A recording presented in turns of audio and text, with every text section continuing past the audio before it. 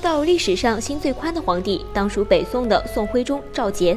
宋徽宗登基前，宋朝已经面临着重重威胁，但他只是个文艺青年，一心专注于书法和画画，对国家大事不感兴趣。就当宋徽宗以为一生就做个逍遥的王爷，不被这些世俗之事牵绊的时候，他的哥哥只活到二十五岁就病逝了，而且最重要的是没有留下子嗣。宋徽宗迫不得已接过宋朝的江山。后来有人形容宋徽宗什么都行，就是当皇帝不行。这句话说的并不错。宋徽宗登基之后，也觉得自己身负重任，也想干出一番事业。可惜他还真不是这块料。再加上蔡京等奸臣的怂恿，相比处理繁重的政事，宋徽宗更愿意写写字，画一下花草。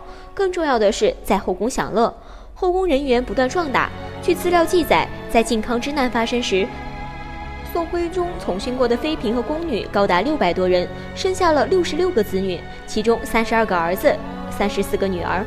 而在此之前，宋徽宗看着金兵南下，就把皇位这烫手的山芋扔给了儿子赵恒，也就是后面的宋钦宗，自己当起了太上皇。